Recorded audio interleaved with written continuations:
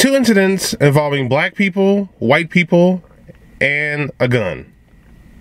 Hey guys, welcome back to the DEMCAD channel. I'm Reginald, also known as DEMCAD. I want to talk a little bit about uh, the latest Karen uh, episode in Michigan. Uh, this couple from Clarkston, Michigan, was involved in a conf confrontation with uh, a black woman and her 15-year-old daughter and essentially, uh, the white woman's coming out of the store. The 15 year old black girl was going towards the store, and at some point, they bumped into one another.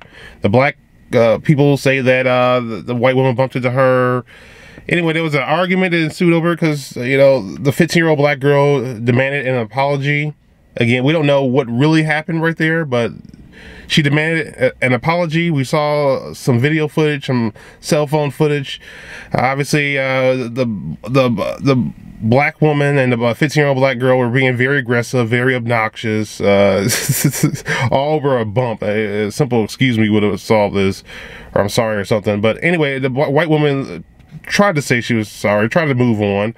And uh, the, the the black woman and the black 15 year old girl just wouldn't let it go. So it, it, argument escalated. At one point, they, the white couple got into the car. They tried to back away, and it was still going on. And you know,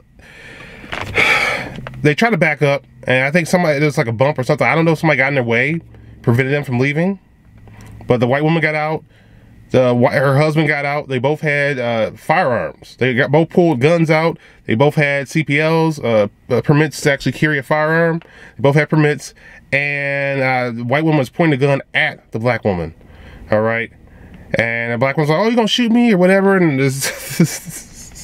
Uh, it's a really obnoxious, uh, really obnoxious individuals. So later on, after the fact, the white couple, they bo both were charged with uh, felonious assault because they pointed guns at uh, the black woman and her 15-year-old black child, right? Well, she was acting like a child in that video. Anyway, so what can we uh, learn from this situation? Well, for one thing, I, I, don't even know if I can relate to the black people in this scenario right here. They're just being really over the top. If I were the, the, the white male in that situation, I would have told my wife, just stay in the car. Don't argue with them. Just stay in the car. I would have tried to back up, move a little bit forward, back up a little bit, bit more, and just drive out of there. That's what I would have tried. That's what I would have done. Would have told my wife to just stay in the car uh, it's, it's not even worth it. Now, should they be charged with felonious assault? If you try to stop somebody from leaving, then they have a right to defend themselves, okay? They, they clearly felt threatened. Uh, but besides that, sometimes you just gotta, you gotta be the bigger person and take the biggest measure to just avoid the situation altogether. Is. Swallow your pride and just get out of that situation. I would told my wife to stay in the vehicle. I wouldn't have gotten out and try to pull the guns on them. You can get out and, and draw your gun, but once you start to point it at people, then, you know, they, they could consider that to be assault. Now, if you feel threatened, you can prove that you feel threatened and they, you're acting in a reasonable manner, then that's different.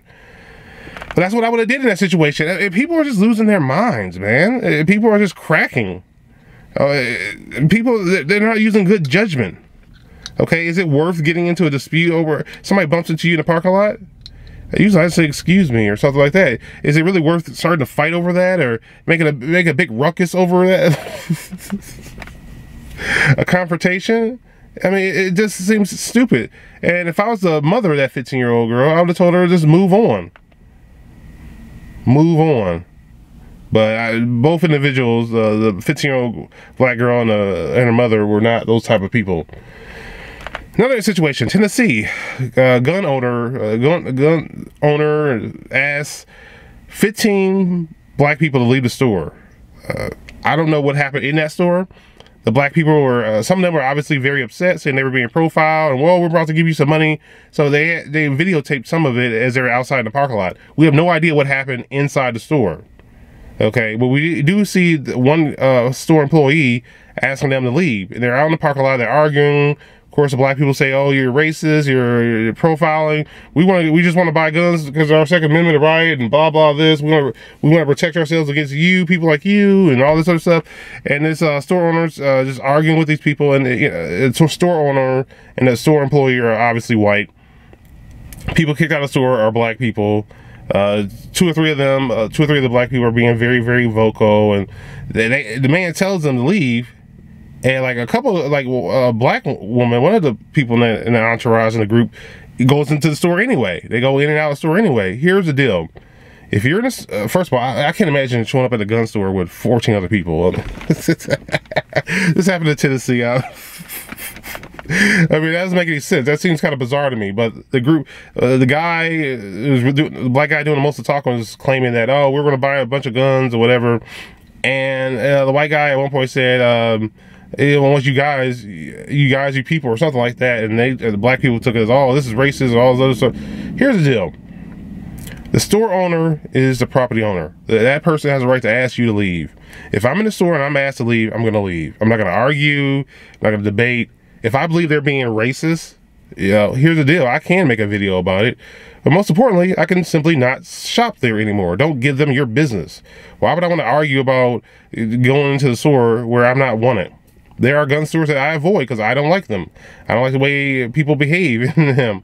You know, it's just, it's just, you have that option. So if I was a part of that group, I would just say, hey guys, let's just go.